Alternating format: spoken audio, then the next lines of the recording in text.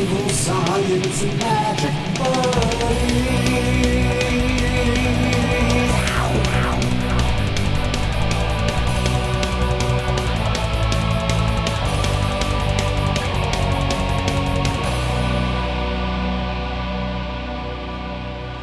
Hello and welcome to the Cryptonaut Podcast presents Evil Science and Magic Buddies, the show within the show, the conspiracy of the conspiracies, the Crypto Roundtable. I am Mark Stores, and with me, as always, is Rob Morphy.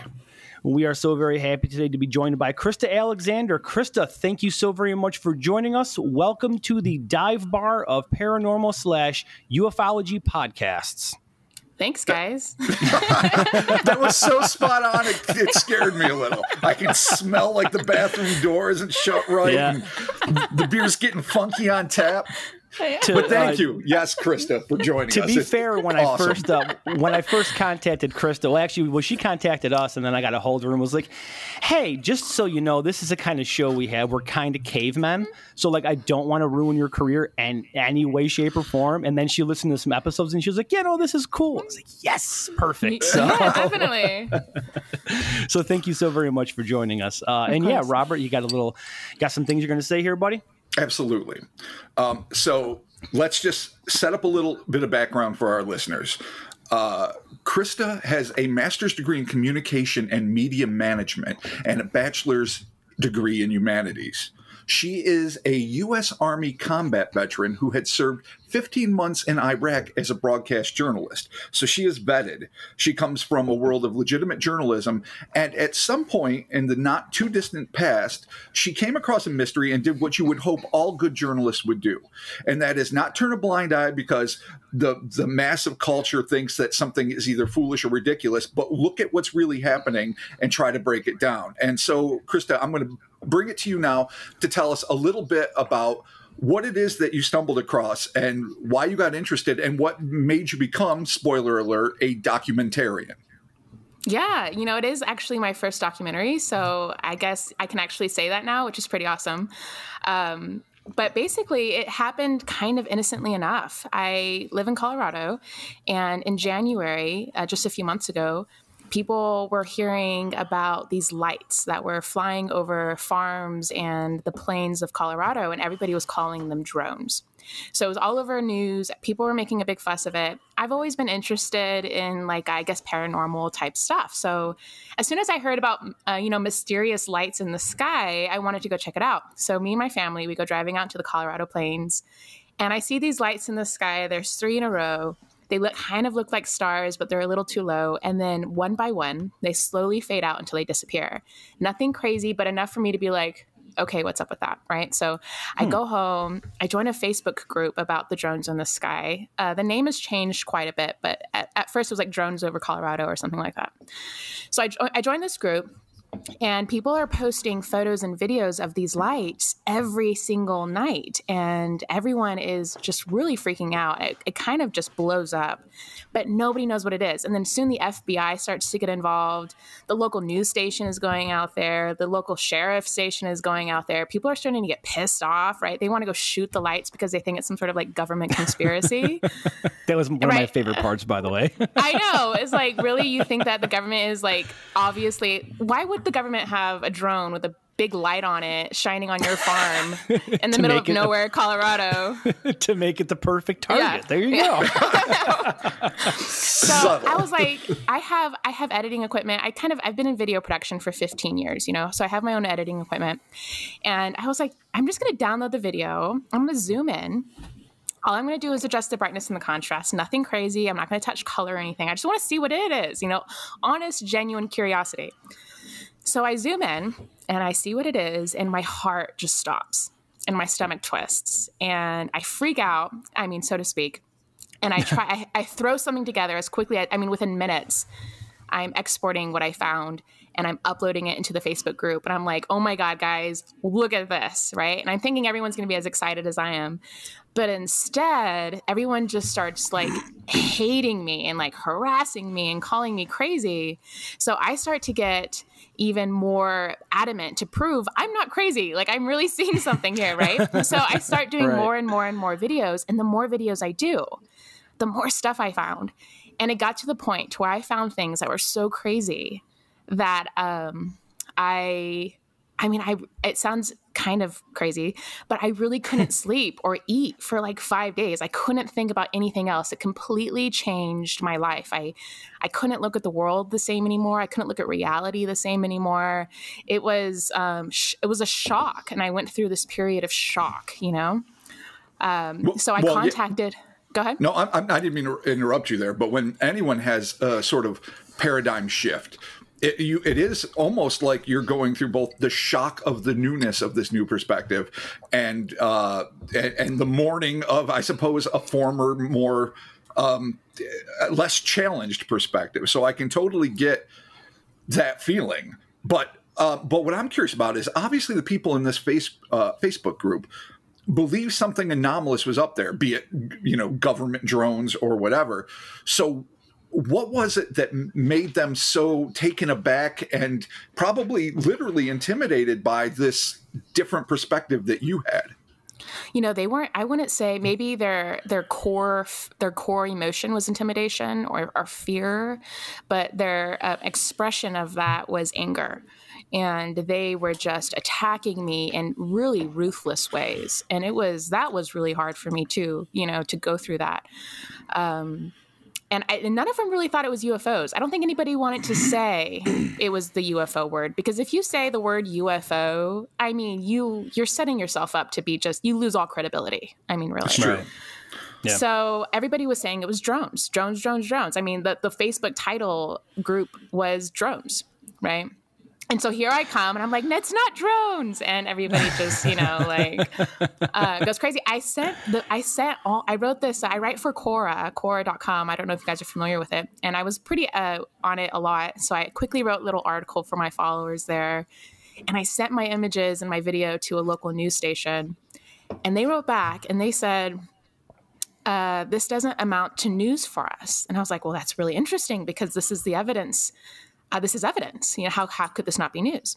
So I write and her it back was and I say, huge news. It, uh, yes. Yeah. And- and- Yes. and, like national news, like the, the Colorado drones, quote unquote, were such a big deal. So to suggest that a a different take on it from an experienced journalist is not news, really see, it smacks of the shadiness of media culture when it comes to uh, breaking new ideas or anything ufological in general. Yeah, it was extremely suspicious, right? So I email her back and I said, listen, in my head, I was thinking, I just need somebody else to look at this video and say this isn't some sort of technical malfunction.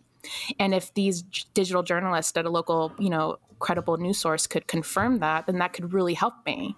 So I emailed her and I said, hey, can you let me know if what is in these videos are um, digital, tech, you know, technical issues? And she writes me back and she says, this is beyond their expertise.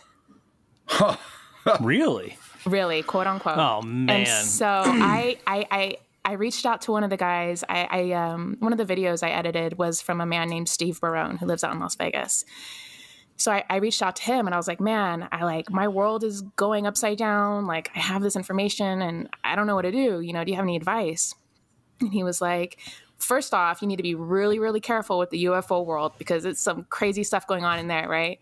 And then he said secondly news uh, mainstream media they will not report this. They won't. And so at that moment i was like I, i'm gonna have to create a documentary. It's the only way.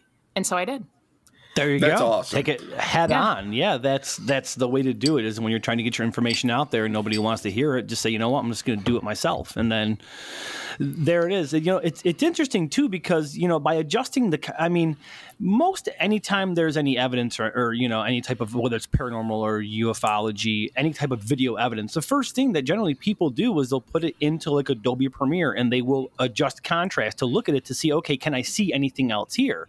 So it's not like you're out there doing some crazy stuff. You're just like, yeah, I adjusted the contrast of it, did you know the brightness, the contrast, kind of a, a, a, to see what's there, and then you found something and you show it, and then all of a sudden everybody, you know, gets all weird and up in arms. It's not like you're doing something super crazy out of the ordinary, you know. No, definitely especially not. in this field, like you're just checking it out, and then.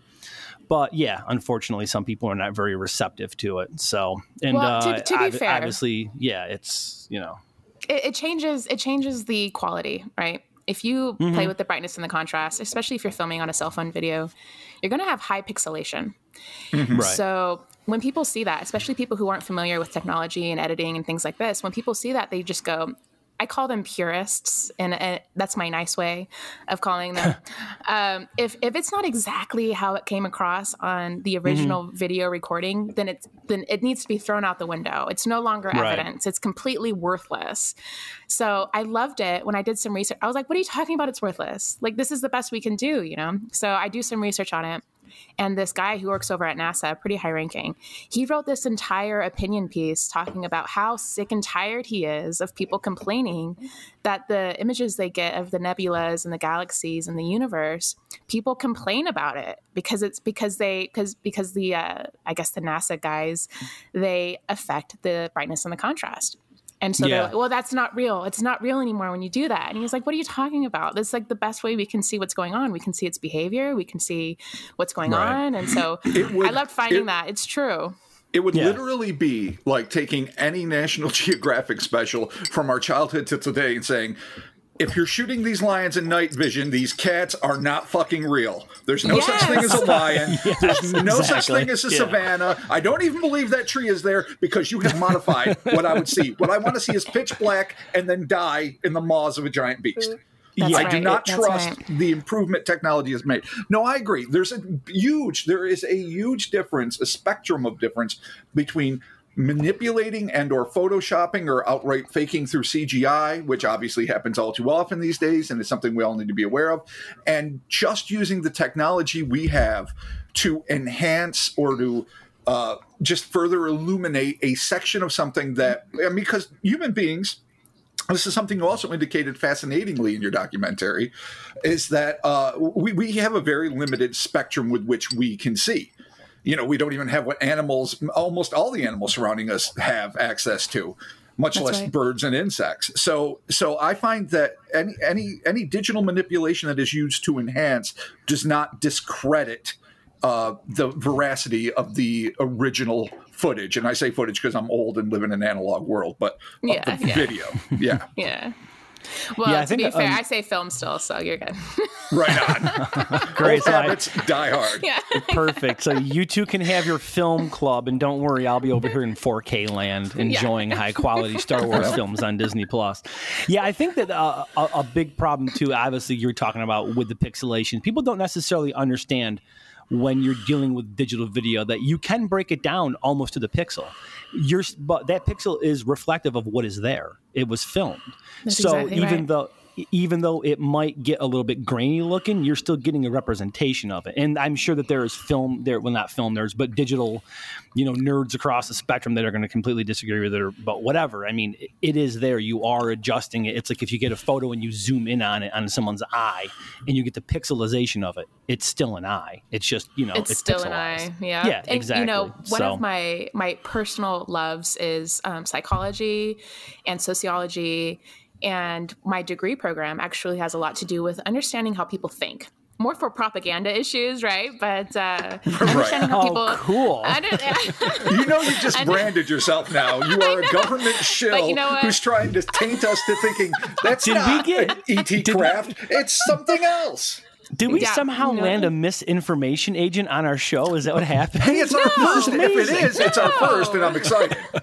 Yeah, No, I'm, of course hey, don't get me wrong. I think this is great. I'm all about it. Just what a misinformation agent would say, Krista.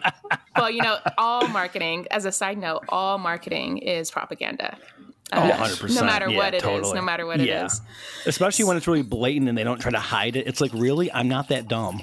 Yeah, well, Like, and, I'm you know, pretty and a lot of people are. A lot of it's subconscious, right? Basically, Oh, the totally. root, the root of propaganda, the root of marketing, the root of um, of any sort of communication is understanding people's emotions. And so, really, to be a good communicator, you have to understand how people think. And that's really, I took that and I really made sure to. Um, to look at that from that perspective.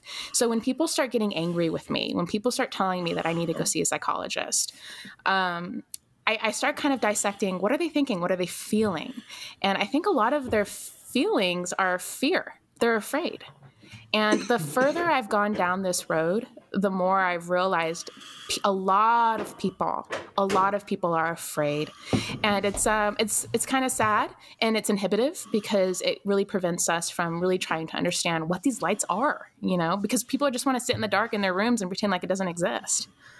That's true. Yeah, totally. And let this let this be the point where we lead into actually what it is that you you seem to have found, and it's very compelling, and that is something uh, that you refer to as intelligent light.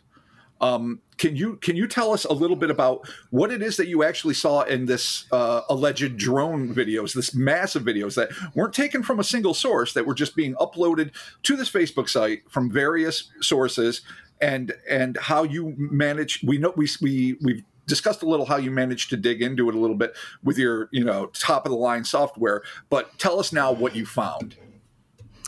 So the first video I found, um, it, it wasn't anything spectacular, but it was enough for me to say, "There's something here. This isn't normal." So um, the first video I found, where it was really just kind of like you say, spectacular, and it kind of changed my worldview, was Steve Barone's video, and he got amazing footage over Las Vegas, which is known, you know, cl- kind of close to Area 51 and everything like that. Um, and there was this um, this light in the sky, and a lot of ufologists actually looked at this light and they they immediately discounted it and said it was a helicopter for some crazy reason because it definitely does not look like a helicopter in No, any I way. saw and the I find footage that suspicious. Yeah, totally suspicious. We, you know, obviously Mark and I saw it in your documentary, which we will talk about when it's released. It's not available yet, but you gave us access to it a little early so we could uh, have some basis for this conversation. And the footage he took is so astonishing to me. Oh my god, I know. and, I know. and, and I loved it. And what's intriguing to me on a personal note is it's very reminiscent, and I'm not going to go down this rabbit hole too deep, but of something that I saw while I was driving with my sister for a, a stay in Florida in the like 91 like really early 90s and uh and hovering over these houses approximately 12 feet up at an angle were two very similar lights uh bluish and red slightly larger in the blue. And we watched it we actually stopped in the throughway or highway or whatever it is in pennsylvania in the commonwealth there and watched it arc across a neighborhood until it faded into the distance maybe somewhere between 10 and 20 feet but i think closer to like 15 12 feet above these houses. And I, I found that really that's all right so we'll package that and put it away. But the footage Yeah. uh, that he took is of something very incredible and and and it's there whether or not it's tangible it's it really seems like it's something that is uh, it's hard to say physically there but there in, in a way that we are able to observe it and record it Yeah, it's definitely not a helicopter. The way that it moves, like if it was a helicopter, you would be able to see at least a rotor at some point yeah. or something, but there's nothing. It's just this light that, and it moves very erratically too at, at one point. So, yeah, I don't see why people would think it's a helicopter. But And I think you know, that's an interesting conversation to have, you know, is why were these respectable ufologists saying it was a helicopter? What's go- what's up with that? You know, that that deserves some investigation right there. Yeah, I, I'm.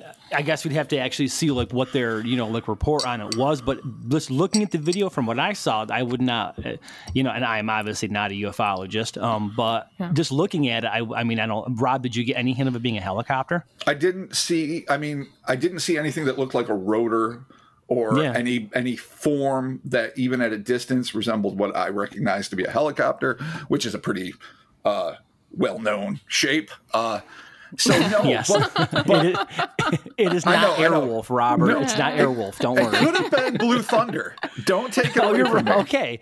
I mean, the only I, I guess the only thing with a helicopter possibly is if you're like, okay, yeah, there was a light or something, you know, bouncing off of it. But I mean, th- at that point, you're getting into like no, the JFK it was obviously assassination. it was like, much. self-illuminated.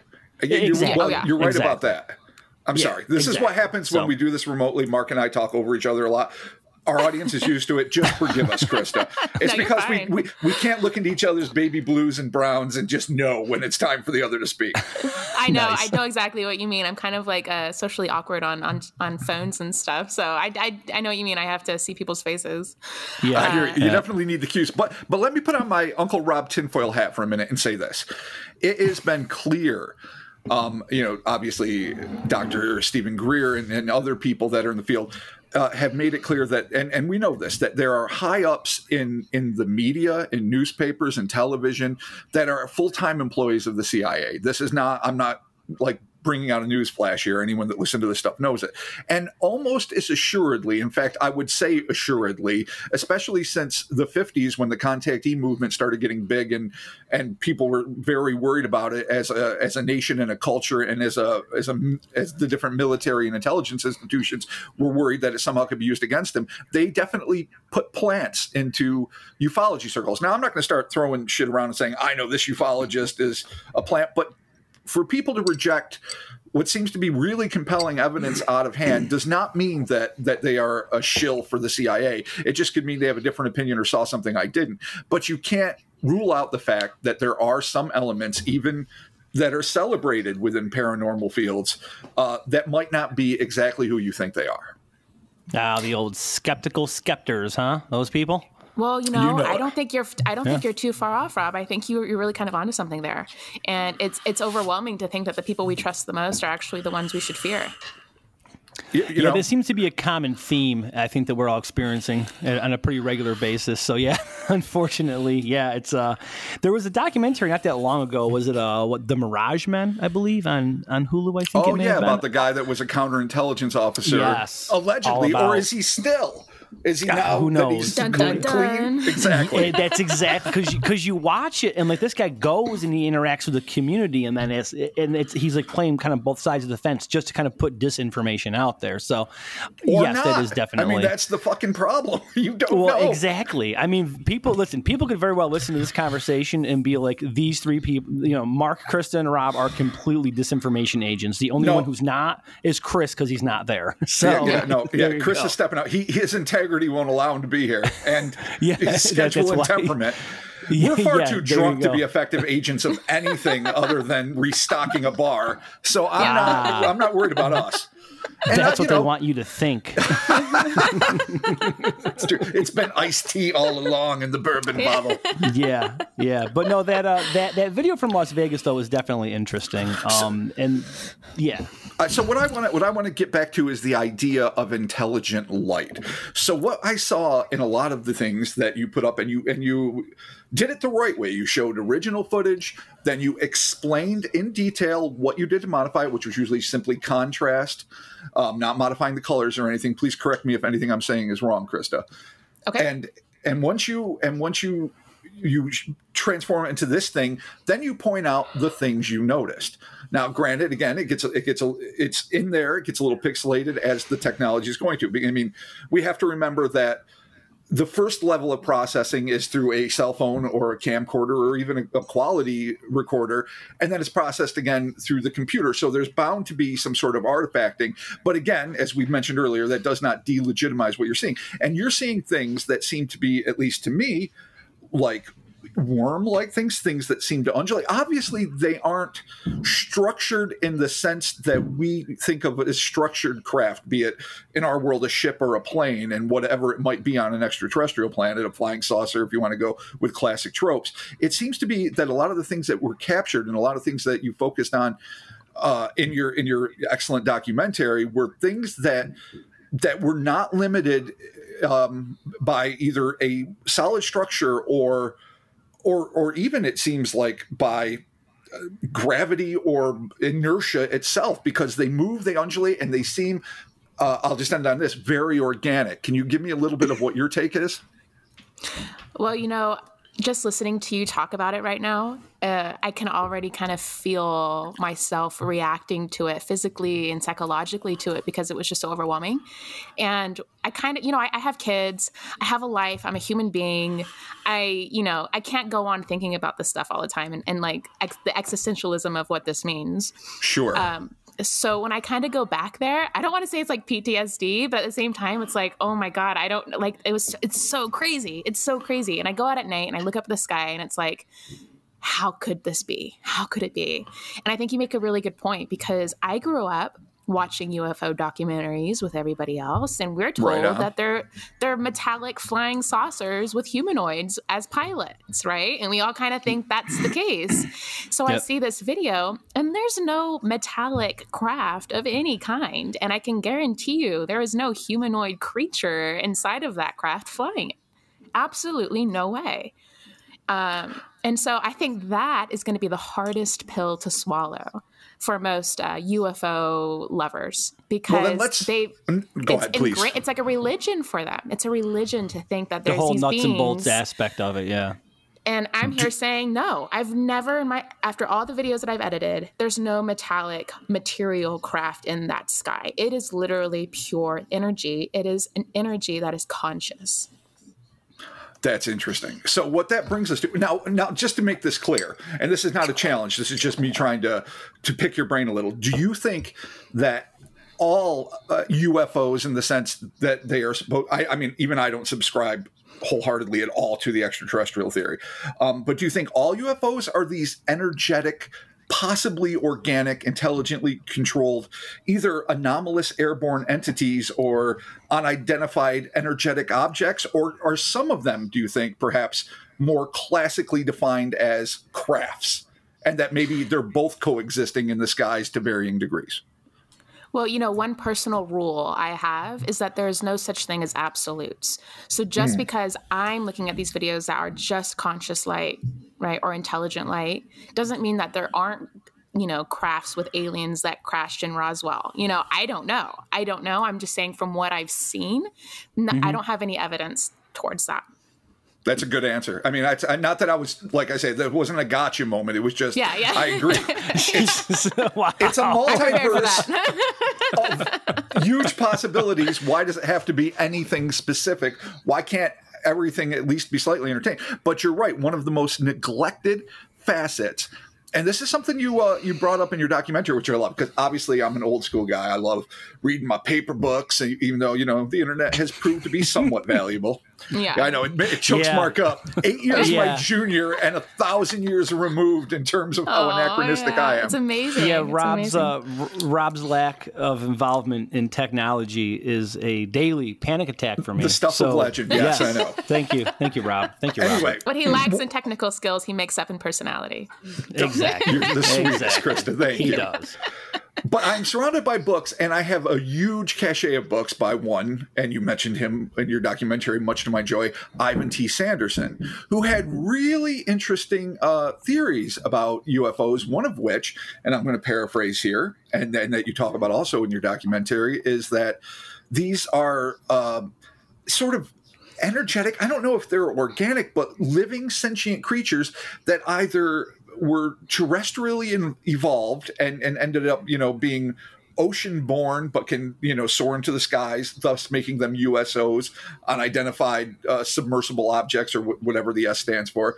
And, and, or that they were extraterrestrials that somehow migrated here and, and made home in our oceans. And I love the fact that you, you talk about, um, you know, this theory because he was definitely not popular in his day or indeed this day for for believing that. Nobody is, right? But um, there's been actually quite a few people who kind of made that that theory, and it, it's the the more we understand about our world, it's almost kind of silly to assume that there aren't living things in our atmosphere, and in fact, they've already proven that there are. oh there's Um, there's- billions of bacteria. There's tons of things that actually live. It is uh what what is it here? Um the earth the earth's atmosphere in cubic miles is and i got this from the internet and my own awesome calculator um and i'm I, and i'm going to be way off. So uh 142 trillion 782 billion 184,457.44 at least when I wrote this article back in the day uh, cubic miles.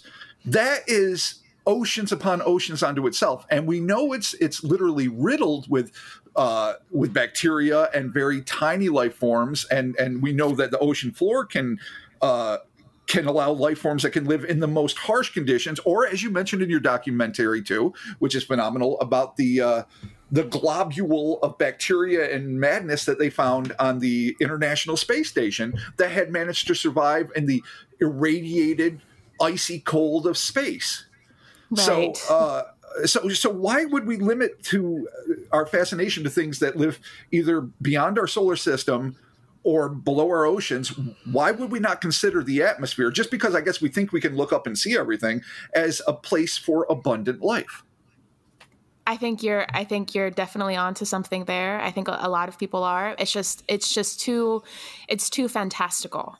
I think to believe. Even when I go outside and I look up at the sky on a normal every day and I'm like there's no way. There's no way. There's jellyfish multi-dimensional things living in the sky that are Oh, bioluminescent is. and Oh, appear at night me, there is. you know but then at the same time it's like god how else can i explain what these lights are you know why not why can't it be possible Yeah, we actually, um, I mean, it was early on in our podcast, but we, I believe it was, we called it Sky Amoebas, right, Rob? Well. Trevor James Constable, I think, coined that. We talked about his ideas in, I believe, the Gargantuan Gliders episode, which of course Yes. became infamous for its fucking blimps. We'll leave that right there and not touch it Oh, again. yeah, because it was actually a crashing blimp. That's right. Yeah, It was yeah, not, that's but right. that's not the point. the point is, we did briefly discuss Trevor James Constable's uh, ideas. He definitely seemed to have, to me, an organic bias in the idea of these like amoebas that could come down, even devour people occasionally, which is a fascinating, if not horrific, idea. And and a lot of the things that we see in these videos are clearly energetic in nature. Um, I'm just wondering, just as a pure opinion, I know that there's not enough science or background to know, but just where you're at right now, if you lean either towards uh, the sentient organic hypothesis or the something that's almost unfathomable for people, the sentient energetic hypothesis. you know uh, what what if it's both you know um, and i think the reason why he thought that they were living organisms is because they shared so many characteristics to amoebas and that was one of the first things i noticed about the lights when you were talking about uh, what was one of the first things i saw that just really freaked me out it was uh, steve barone's video and you have this one light and then all of a sudden it, it turns into two and then all of a sudden it comes back into one again. So what is what what it reminded me of was um, cellular division. That's exactly how uh, they they evolve and and, and grow. Um, and so when I ran into Trevor James Constable's theory that these lights were amoebas in the sky, massive, massive amoebas in the sky, which is insane because to us, amoebas are microscopic, right? Right. And these things are huge. Um, and for my personal opinion, I'm going to say that is something that I do take into consideration. Um, it's a little bit overwhelming to come up with. I, I think that this is what this is. You know what I mean? Um, but to be honest, I'm kind of leaning more towards um, an energy creature thing. Well, no, I mean, no, that's what you have No, to say. well, you yeah, have to be vague because there's Yeah. no concrete evidence. no one yeah no one really knows i mean a part of me is like i don't want to be walking out on whatever mesa if for some reason i'm ever at a mesa um, and all of a sudden this giant sky amoeba comes down and then devours me and i'm gone i'd be much more comfortable with like oh hey just some cool like light being that's awesome it's not going to devour me unless of course that light being all of a sudden materializes and then i'm no more and then there you go I mean, So, the sky yeah. is literally filled with macro single-celled organisms that can treat us the way you know, it, uh, you know, any amoeba would treat the you know random detritus and edibles that they're floating in the water with it.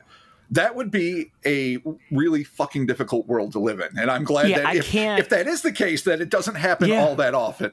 I don't have the emotional space to deal with that right now. Like I really don't. I just can't deal with the idea of an amoeba from the sky eating me. And we've covered other um, atmospheric creatures uh, as well. There was the, um, I, I believe it was, uh, was it in Long Island, Rob, the sky spitter, right? Oh yeah, a cloud-like Yeah. object that decided to single out some poor science teacher and rain on him with its just literally mouth. spit on him. And then there was the other one that uh, they were uh, like, like sky rays that were chasing a car, I, I, I believe. Yeah, maybe in Long Island.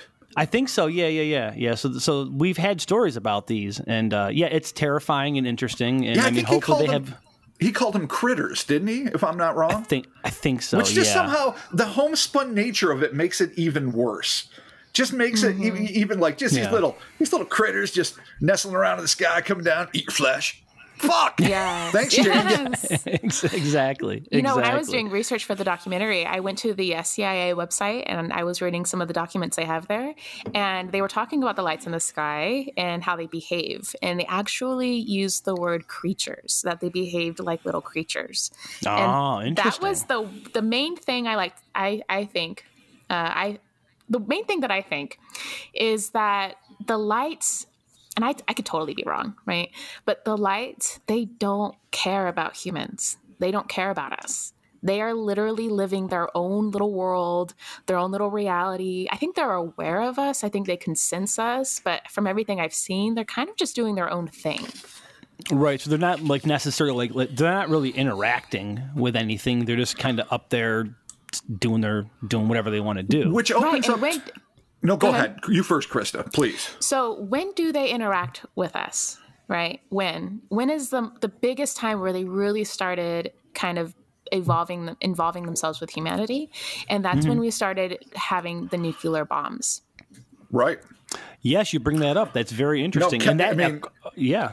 No, well, the Arnold sighting is all I was going to say. You know, it's it's like right on the heels of the first atomic test, and of course, uh, Hiroshima and Nagasaki. And there's a lot of different takes on it. The the I think the traditionalist take would be um, that aliens from other cultures on different planets, wherever they be, maybe in our galaxy, saw that we had harnessed the atom, certainly not mastered it in any way, but harnessed it and came down to check. I think that is the standard extraterrestrial hypothesis version of it. But as I mentioned in a, a podcast not that long ago, uh, Gordon Creighton talking about the possibility of interdimensional creatures or creatures living on another version or plane of Earth being deeply affected by these nuclear tests. Suddenly, all of a sudden, that really, to me, that the onus on dealing or at least knowing what's going on seems a lot more extreme if you are actively being threatened, not just as like some arbitrary thing. Right. Oh, look at that pop. Sorry, Japan. Now let's go down and see what humans are doing yeah. Yeah, Yeah. exactly. the exactly. fact that they might be affected somehow uh, in- intrigues me a lot. Yeah, I believe I Right. referred to that as inter- as uh, interdimensional pollution, where it's like, hey guys, uh, we all share this space, and we don't really appreciate you testing bombs in the desert and dropping them on you know civilians and whatnot because it affects us all.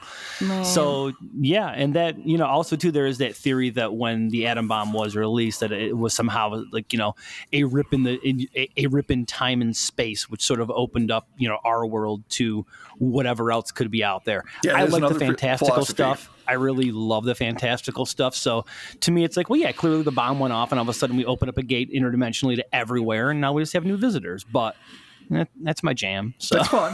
I mean, it is so yeah, fun. you know, it's it's what I do. But one of the So, things, yeah. Krista, that I, I like that you mentioned in your documentary that I was utterly unfamiliar with was uh, the the segment you had about the uh, uh, British astronaut Helen Sharman, who uh, speculated that life could exist all around us, but that they may be made of material that are invisible or at least undetectable by human beings Isn't that like the beautiful? I, I love that because I've I always talk about it. I, I don't know if you ever saw if you're a fan of 80s horror, but the movie From Beyond. That is my go-to analogy because they turned on this machine called the resonator, these scientists, one mad, one less so as assistant, and that opened up the ability to perceive these places around us that were uh, naked to the human eye, based loosely on an H.P. Lovecraft story. So that aside, it- it- you know whether or not you know the film is regardless. What what I've always been fascinated with the idea we are literally surrounded by life that is just as unaware of us as we are of it.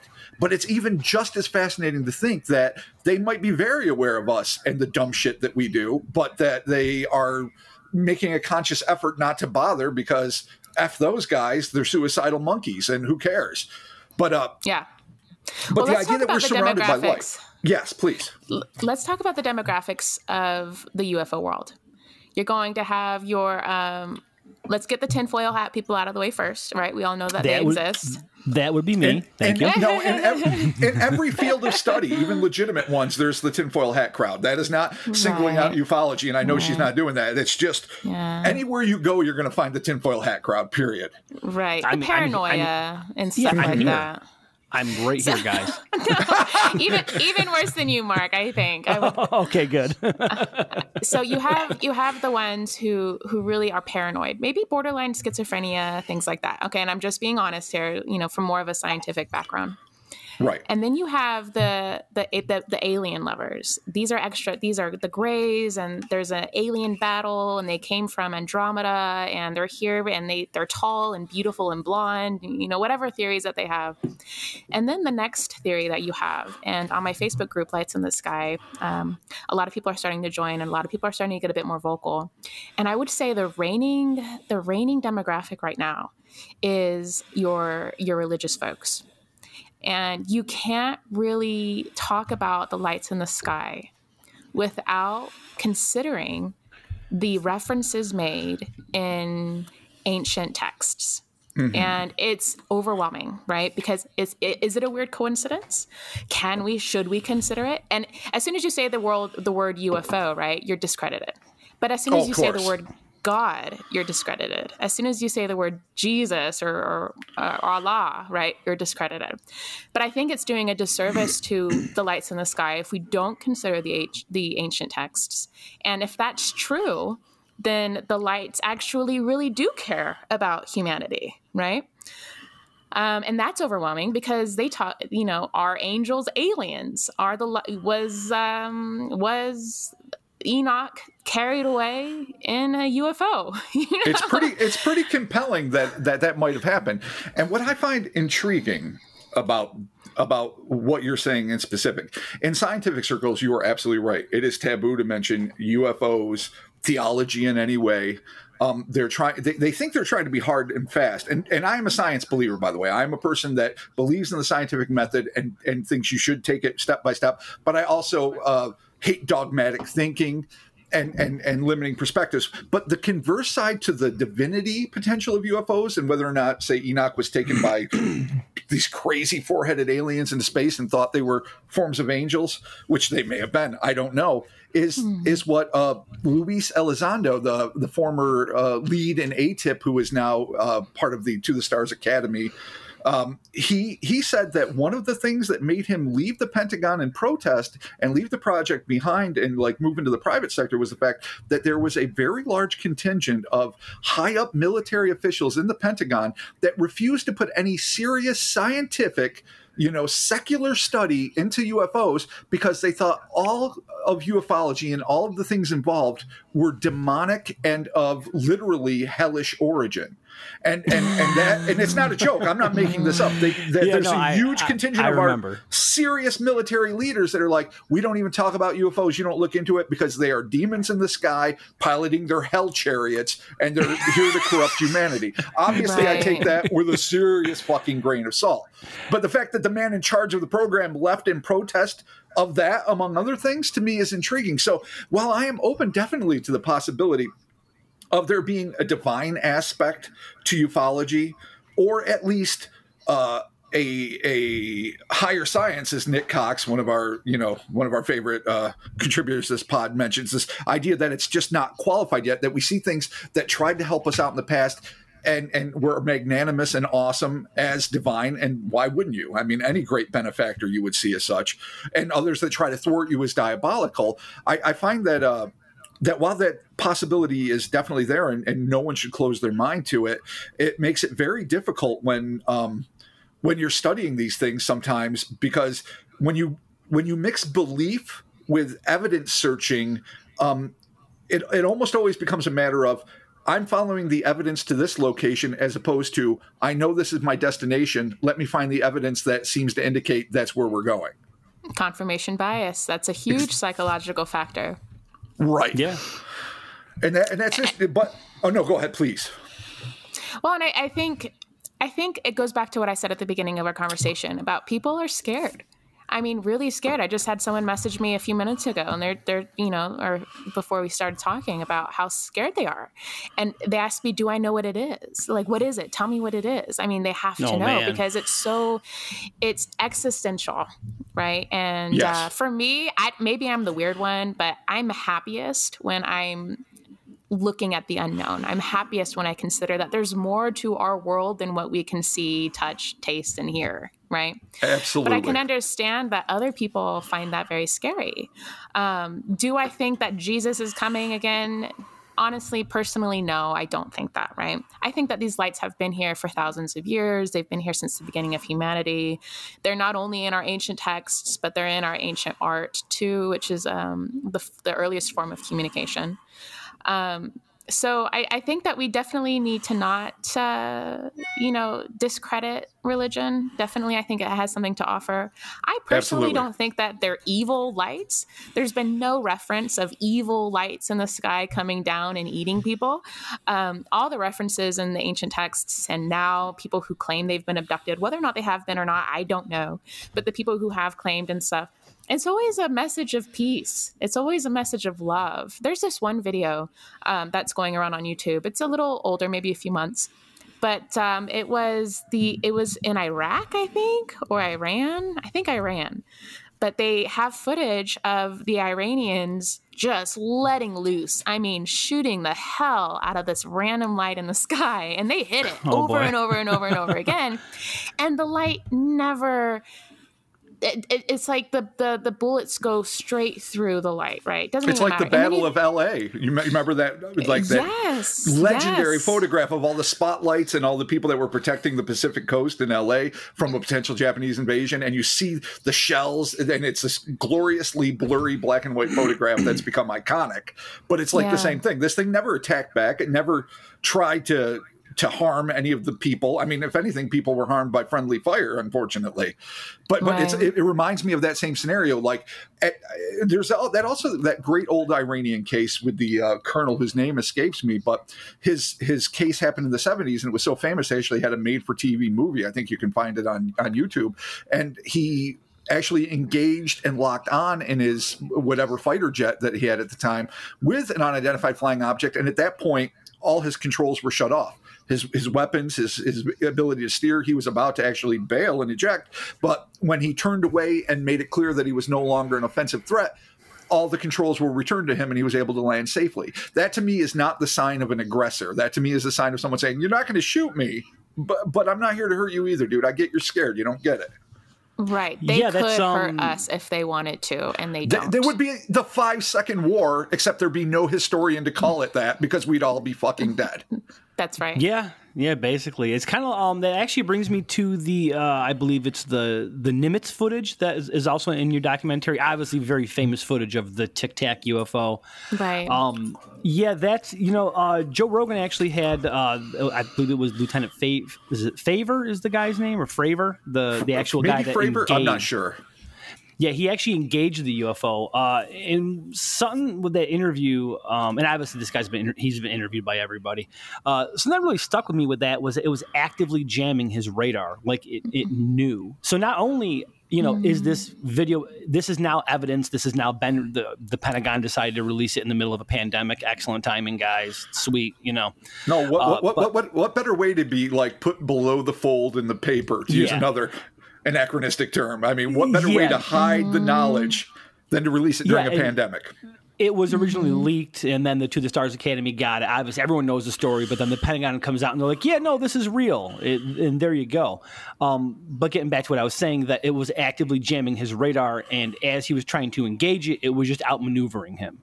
So that to me doesn't sound aggressive. Um, i mean he again he was trying to, to you know get to it to see what it was and at no point did it actually engage it just jammed his radar and was like, "Sorry, guy. Like, you know, this is what I do." So, so Well, and to be aware that of footage us- actually, yeah, it's exactly. It, it, it was completely aware that he was there, and it Mm-hmm. just outmaneuvered him, and then was like, "See you later." That footage actually is Mm-hmm. something that when you watch that, that's concerning because Mm-hmm. they say it's there.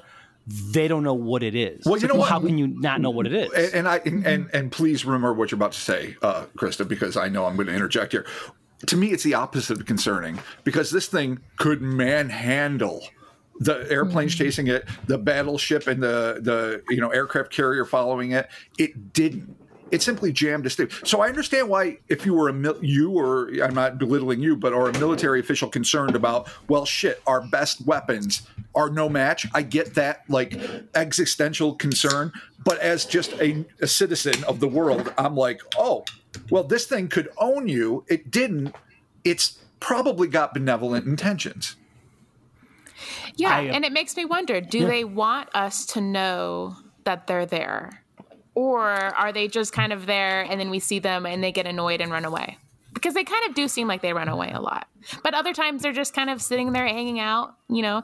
I Yeah. had one woman message me uh, last week and she says, because you know I have that Facebook group and I like to edit videos uh, that people post. It's fun. I mean, I don't normally get anything too crazy, but I it's gotten to the point to where every video that I get, for the most part, I, I kind of already know what's going to be there uh, because they all have the kind of same behavior, no matter where in the world they're filmed.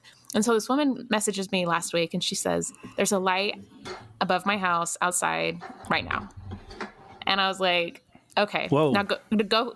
Are you filming it? And she said, Yeah, I'm filming it. So she sends it over to me, and there's just not enough light. I can see that there's something there, Right. but I don't know if it was the quality of her her camera or something. But it just wasn't good enough footage for me to share publicly. But I knew that she was telling the truth, um, and so I said, I know this sounds crazy. But people have told me that you can communicate with these lights. And she writes back and she goes, I already did! Exclamation point. I, was like, I was like, okay. So what happened? And she says, I just moved to the right and I told it to move to the right with me and it moved to the right and I moved to the left. And I was like, this is amazing. And I'm so jealous. You get to do Yeah, no doubt. So basically, what you just set yourself up for, Krista, is for me to send you a uh, video of myself outside my home, hammered, being like, "Krista, look, it's there! It's following me! I actually get a You lot were of those. right. Rob was wrong." And, Chri- and Krista has to write back, that is a street lamp, Mark. You are shit faced. exactly. Go in and take care of your children. yeah. My uh, kids are fine. They know the truth. you know, it's am- it's amazing how many people have seen these lights. You know, all Yeah, Oh, over. Yeah, I, I, I was checking out your, your Facebook group there, and there's quite a lot of people there that are that are witnessing this. I personally never have, but then again, my problem is is I don't look up to the sky enough. It's my own deal. I just don't because I after watching your documentary, actually, I, I watched your documentary with, with my kids, um, which is great to actually be able to watch something with them. Uh, so, yeah, I, and I thought to myself, I'm like, you know, I don't you know, I'm for all the stuff that we do outside and whatever, and you know, our regular family activities. Like we're just never out there just checking out the sky, like ever. We just never do it because we just don't. So I, I'm just not paying attention enough, I think, to even be able to see anything. Whereas I know that Rob and Chris, um, you know, have you, you, Rob and Chris, you guys have actually seen stuff multiple times that. You yeah, know, just anomalous things. We I don't yeah, know what they are, lights, but they're enough just to weird strike lights in the sky, and yeah, and things moving. So, so They yeah, say you can totally. communicate with them, right? Steven Greer says in his phone. Yes. And you can Yep. just be like, Google map yourself and they'll come to you. So I'm, I'm an early bird. I wake, I go to bed at like 8 9 o'clock every night. I'm kind of, and I wake up super, super early. So I'm literally never awake at night. Um, but, but sometimes I am. And I go out and I'm like, okay, Steven Greer said that I had to be pure of heart. That I had to be- yeah, not cult like at all. Yeah, I mean, I couldn't even get past that point. I'd be like, I know that I'm not pure. This Forgive sucks. me. I'm gonna get a terrible light. This light that I'm gonna get is gonna suck. It's gonna be the worst light ever. Yeah. So I, gonna, I it's keep gonna come Google mapping myself. stones. I'm not getting anything, you know, and I'm just like, Maybe maybe, I'll I'm try a that. terrible person. I don't Yeah, know. work, work on the purity a little, Krista. That's my Uh, problem.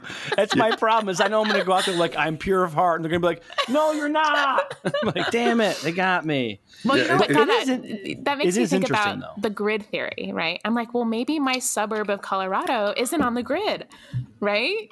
I don't know. Oh, that's right. let's, yeah, well, let's the- let's the stop right here. It's a here. perfect chance and and break down because one of the things I want to start getting into a little bit, and I know we meander, that is the nature of our podcast, but um, is the potential origin of these things and different theories. And one of the things that you talk about extensively in your documentary that really fascinated me, and you know, I knew about Ivan T. Sanderson's wild vortices and other people that had gridded out like you know paranormalists, even though it sounds like I'm dismissing it, but like even learned scholars that have tried to like grid out the world in terms of uh, you know where energy flows from ley lines to whatnot.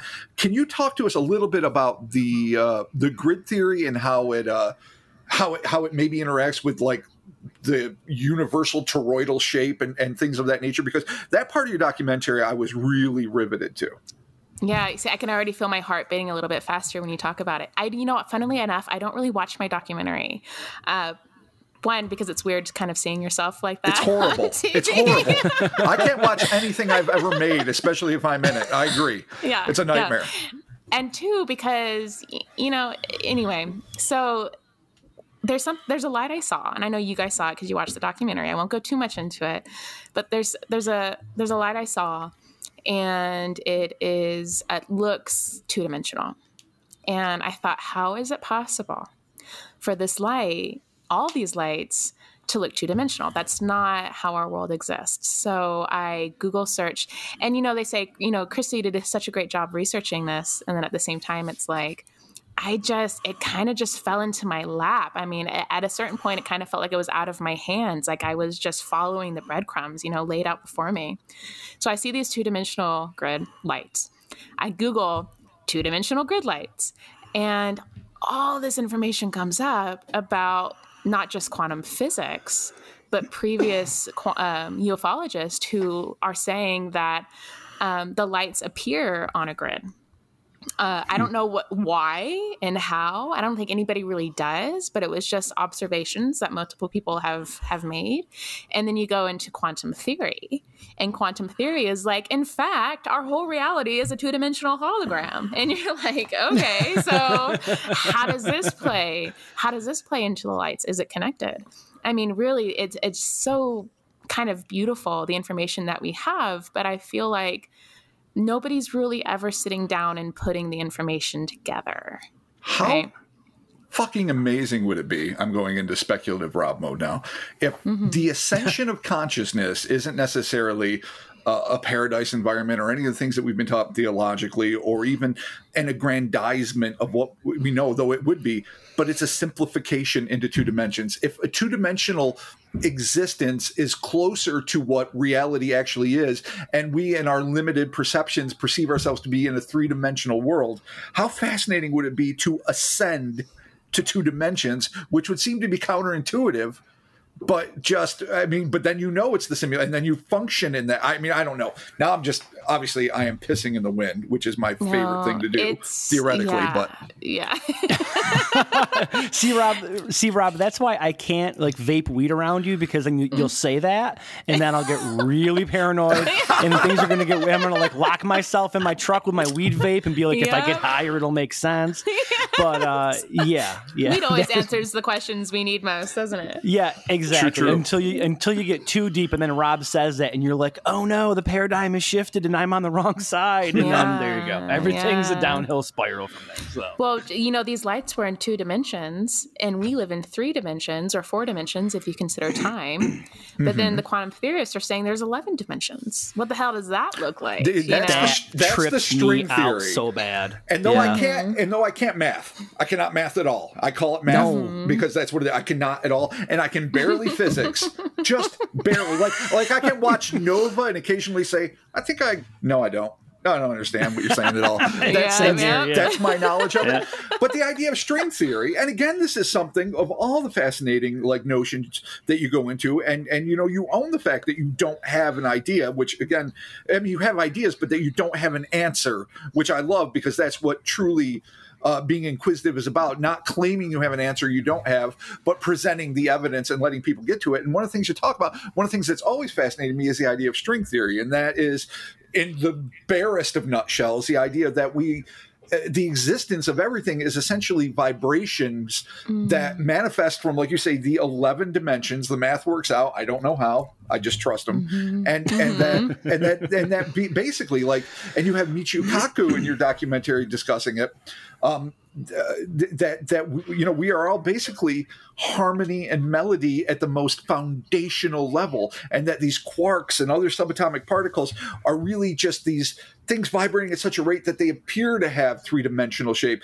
And in a way that does not seem inhibiting to me. That does not seem terrifying to me. It seems like oh my god that's beautiful. And if we are all essentially music sometimes discordant like the best of punk rock sometimes harmonious and beautiful like the greatest of old composers then then to me there's something really wonderful about that. And if there is something to that if these objects in the sky at least some of them are these sentient manifestations of this this two-dimensional uh, symphony that is continuously going on around us and in fact makes up the entire universe as we know and don't know it there is something really kind of eloquent and and beautiful about that I agree. I had a friend who lost someone very close to her last week, and it was very Oh. overwhelming, very so sad. sorry And and and you know, I think people are afraid and existential and scared because we're all immortal, right? We're all trying to understand what the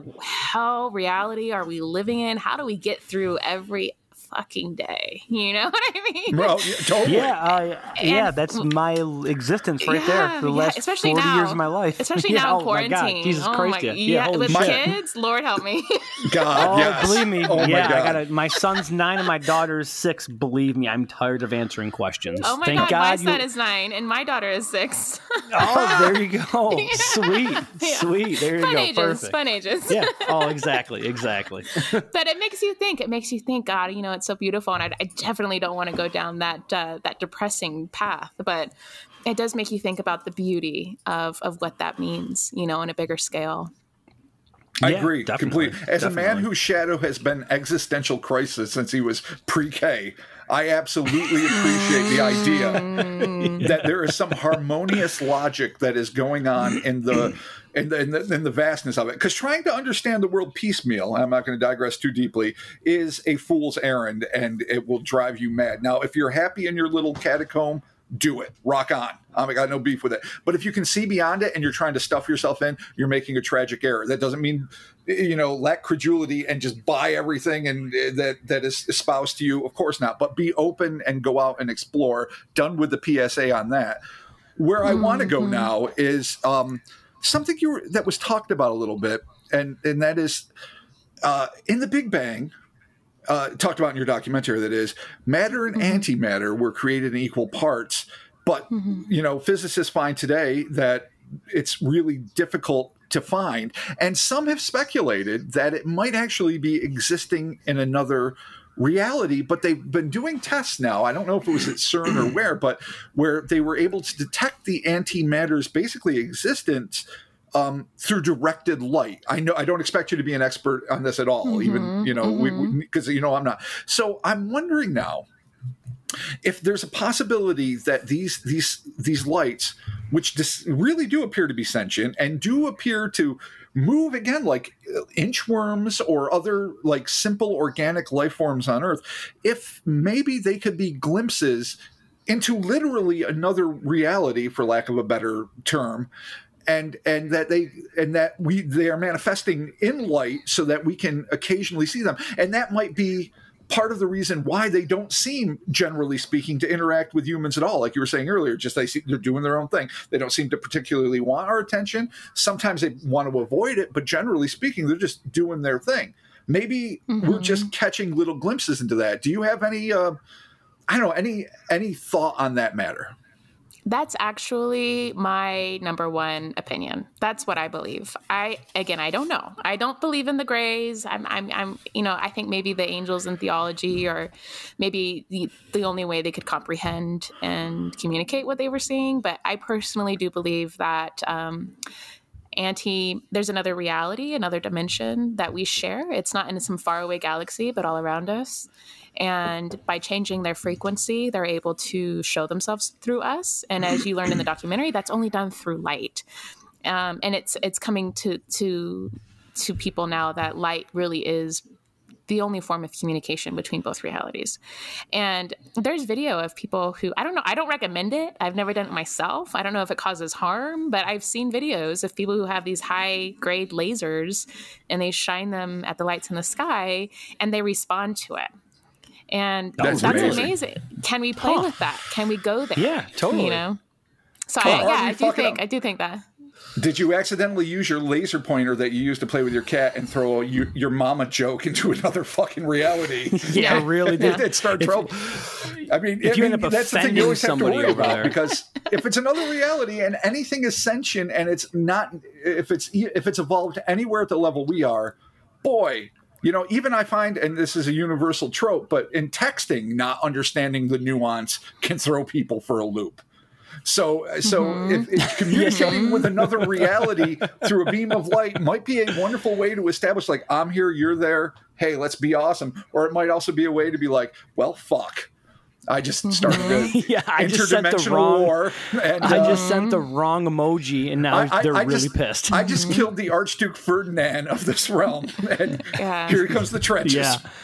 Yeah, exactly. Yeah, that, that's interesting though. The the uh, the communication with light, especially with you know how we you know view color and see everything in a spectrum and whatnot.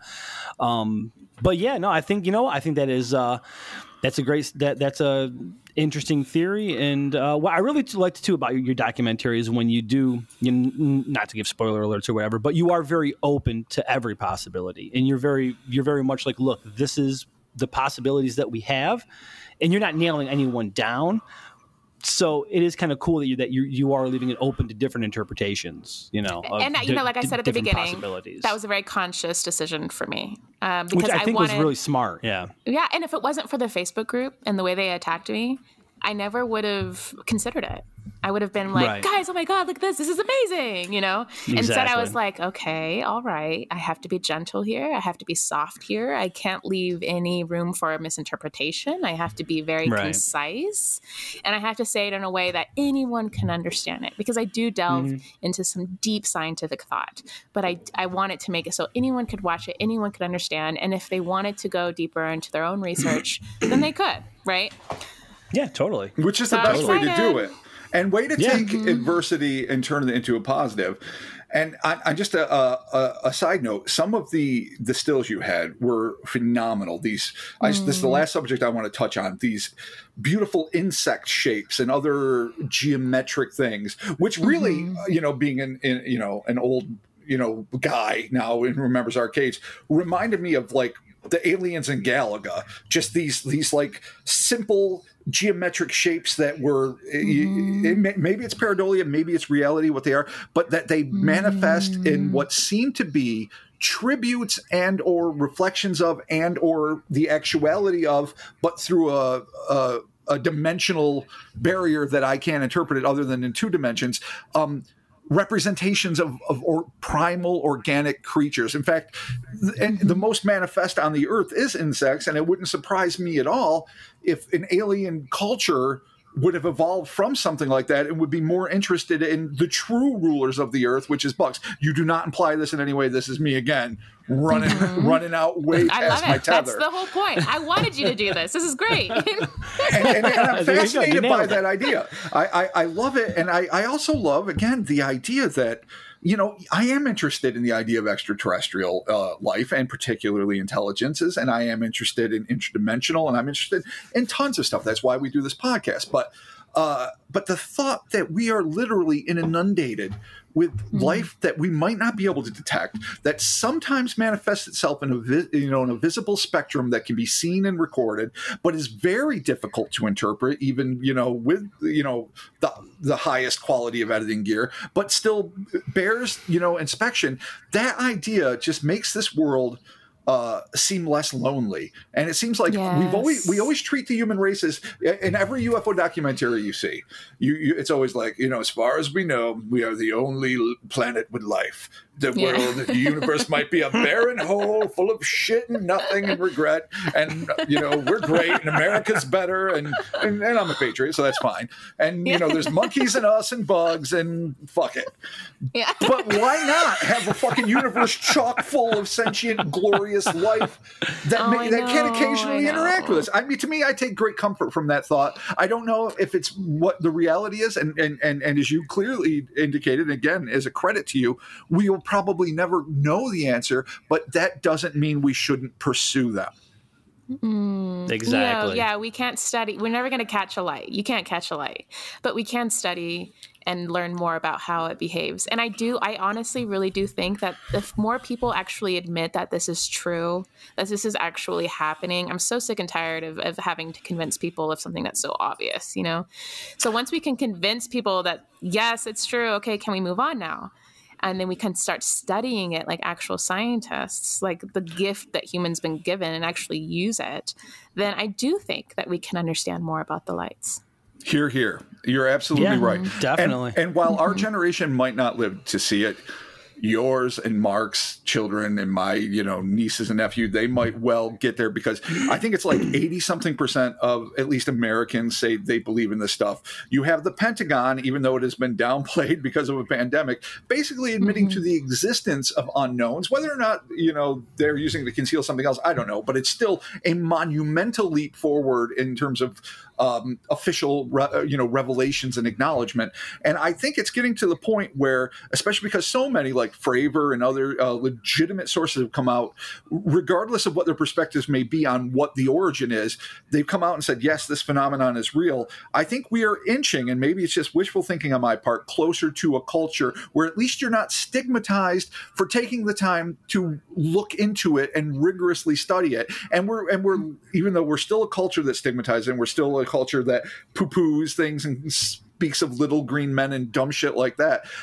By and large, the mass of humanity is moving towards a place where it's like, hey, there's something there. I don't know what it is. Let's try to figure it out. And I hope at least uh, you know, if we don't get there, that the kids we know and love do. And uh, and I'm very optimistic on that on that front. It is worth looking into. I mean, and I'm open to a world where there are some structured craft, where there are sentient, energetic, either beings or objects. I why not? The universe is vast, and the more we find out, which is always what blows my mind, we never stop learning. We never have it all the more we mm-hmm. find out, the more expansive this universe gets. Why is it that at, at every point we are as a species, we're like, well, we got it. Fuck it. We got it. It's nailed. It's mm-hmm. done. We know it. And it's like, oh, done. oh, wait, we It's found over. this other fucking thing out and it's amazing. Yeah. And I want Awesome. sweet my video theory- games from another dimension. Yeah, same here. Exactly. My Please, theory Krista. is that people are afraid, but there might be more reasons. I think, you know, unfortunately, you know, I told you I'm really into psychology and personality, and uh, I know that a lot of people genuinely don't like to think about things, and I don't, and they're they're okay with that. They admit it, and they're okay with that. They don't really like to think about more than what's absolutely necessary. And the fact of the matter is, statistically, those people make up eighty percent of our society. Um, Yeah, so are. They're people not looking afraid? to rock the boat. you know, I think Yeah. that maybe they're just afraid, but maybe they just don't care. Maybe they just don't care. Um, can we make them care? Uh, I don't know. I don't think you can make someone care. I think they have to care on their own. And I'm hoping that by sharing this information in a way that's easily digestible, that maybe in some small way I can plant a little latent, a little latent um, interest in their brains. You know, that just a little seed that can grow. And who knows? Maybe in this generation, maybe in the next, that seed will grow. Awesome. There you have it. Krista, thank you so much. That was a perfect ending to an awesome conversation. Um, oh, so, real quick, your documentary is coming out, I believe, on June 23rd, correct? That's right. Yeah. Okay, and it's, it is available on iTunes. It is Lights in the Sky. Um, will it be available on anywhere other than iTunes or just iTunes? Yes. I have a list. I need to look it up. I'm so terrible. Uh, iTunes, Google Play, Vimeo, Vudu, Microsoft, Xbox Video. So there's definitely lots of options for everybody. Um, and I'm super excited. I want people to have a discussion. If you guys are interested, uh, join the Facebook group Lights in the Sky. Uh, people are sharing their videos, their experiences, and their pictures, and we can discuss it. And I can even edit the videos, and we can all kind of come together and really discuss what's happening. Yeah, totally. That Actually, is- in the description of this podcast, we will put a link to all of your uh, social media so that people can interact and check that out. The beauty of the Awesome. 21st century, and I was fucking, uh, obviously, I was born in the 1970s in this archaic age where I would watch, say, In Search of or uh, Project UFO and be like, oh, and maybe be able to talk to my parents who barely indulge me, God bless them. And, and now we have a world where you can see something or be intrigued by something and interact directly with the documentarian, other eyewitnesses. It is really one of the beautiful boons of the 21st century. And uh, I encourage all our listeners to take advantage of it because the more we know and the more we're exposed to, the better off we're going to be, the broader our perspectives potentially can be. And I, I think it's great. And again, congratulations, Krista, on, you know, following, you know, facing adversity, turning it into a tangible documentary and, and getting it released, which is a huge feat, an incredible Yeah, feat. it's awesome. As someone who knows a little bit about the process, and uh, and we wish you the very best of luck with it. And thank you for talking with us because this was really was, as Mark said, a fascinating conversation. Thank you, Rob. I genuinely enjoy talking to you guys, so thank you. You're Excellent. welcome. Thank you so very much, Krista. And again, everybody, that is June 23rd, Lights in the Sky. Look for that documentary wherever you get your digital downloads. I'm sure it will be there. We will have links in the description of this podcast. Um, Instas, the Twitters, and the Facebooks. Obviously, check us out there. We will have links to all of Krista's uh, Instas and Twitters and Facebooks in the description as well. So, uh, yeah, Krista, thank you so very much. And we'll be talking with you soon. Bye. See ya. That was the best buy ever for the for the record, Krista. Seriously, in the history Yeah, I know. of this podcast, I- that was the best buy ever. I was like, should I We say normally- something or not? I don't know. Yeah, no, No, you you This is followed your actually instincts still- well. yeah. This is actually still recording, which is the best part. We always get people at the end. We're like, "You're still recording." Oh, nice. Krista wins the day. All right, see y'all later. Peace.